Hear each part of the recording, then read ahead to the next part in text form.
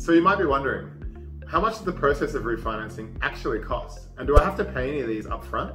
While the cost of refinancing will vary depending on your individual circumstances, the good news is you won't have to pay these costs upfront as they can be capitalized into the loan.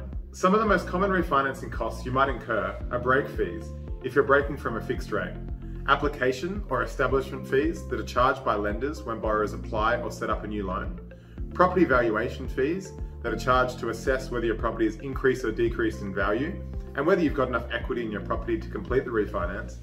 Discharge fees, that is a fee carried out to cover administration and legal fees of the new documentation when buyers pay out their home loan or when they refinance.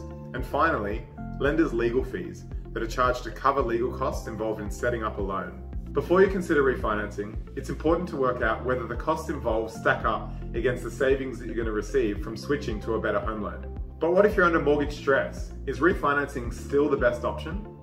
Check out our next video here where we'll look at repayment holidays versus refinancing.